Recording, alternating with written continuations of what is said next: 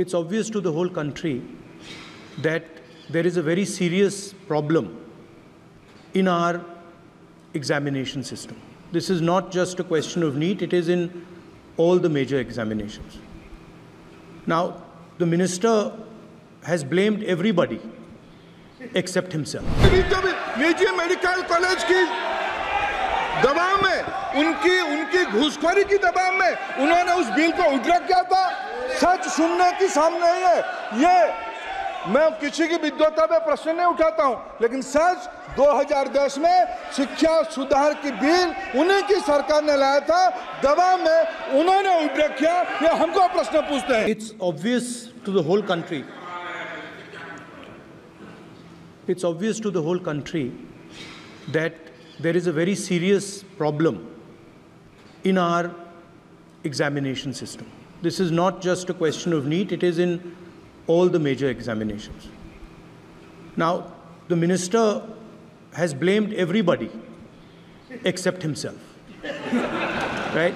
I don't, frankly, I don't even think he understands the fundamentals of what is going on here. आप प्रश्न क्या है आपका आ रहा हूं सर सर ये ये ये मैं क्वेश्चन को ये सेटअप प्रश्न कर रहा काल इसलिए प्रश्न पूछते हैं आप हूं ये the the issue is that there are millions of students in this country who are extremely concerned at what is going on and who are convinced that the Indian examination system is a fraud.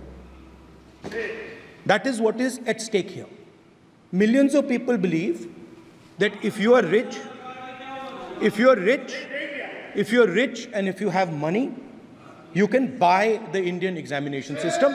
And by the way, and and this is the same feeling that the people in the opposition have. And that is why we are asking some very simple questions to Honorable Minister. Number one, as this is a systemic issue, what exactly are you doing to fix this issue at a systemic level? मेरे जो शिक्षा है मेरे जो संस्कार है मेरे जो सामाजिक जीवन है मेरे को मेरे राज्य की, मेरे सूबे की जनता की स्वीकृति मिली है। मैं किसी की, मेरे बौद्धिक और मेरे संस्कार की सर्टिफिकेट मेरे को सारी सदन में किसी से नहीं चाहिए। देश की प्रजातंत्र में, देश की प्रजातंत्र में चुन के मेरे नेता प्रधानमंत्री मोदी जी को प्रधानमंत्री की भूमिका दिया है। मैं उनकी निर्णय से यहाँ उत्तर दे रहा हूँ सदन को। बाकी बाकी ये कहना, चिल्लाने से सच झूठ नहीं हो जाएगा साहब। साहब, ये जो कहा गया, देश की देश की अभी की एग्जामिनेशन सिस्टम रबिश है सर, इससे दुर्भाग्यजनक बयान, देश की नेता प्रतिपक्ष का कुछ नहीं हो सकता है। सर, मैं कठोर शब्द से उसको निंदा करता हूँ। बाकी रहा, मैं सर, आपकी सामने, आपके माध्यम से, देश के सामने, सर, एक आंक- एक तथ्य रखता हूँ। सर, जिन्होंने रिमोट से सरकारें चलाई है 2010 में तीन बिल आया था, सर। शिक्षा सुधार के लिए उन्हीं की पार्टी के नेता आदरणीय कपिल सिब्बल साहब तीन बिल लाए थे।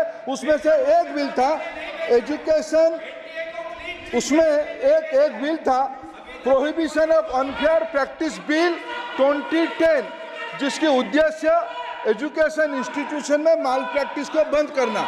सर, मेरे सरकार की हिम्मत है। अभी अभी हमने पब्लिक एग्जामिनेशन की रेगुलरिटीज में बिल लाए, कानून बनाए। क्या मजबूरी था कांग्रेस पार्टी की? क्या मजबूरी था नेता प्रतिपक्ष की? उन्होंने उस बिल को उल्टा किया, किसके दबाव में उल्टा किया? क्या निजी निजी मेडिकल कॉलेज की दबाव में, उनकी उनकी घुसखोरी की दबाव में उन्होंने उस बिल को उठा किया था? सच सुनने की सामने है। ये मैं किसी की विद्वता में प्रश्न नहीं उठाता हूँ, लेकिन सच 2010 में शिक्षा सुधार की बिल उन्हीं की सरकार ने लाया था, दवा में उन्होंने उठा किया, ये हमको प्रश्न पूछते हैं।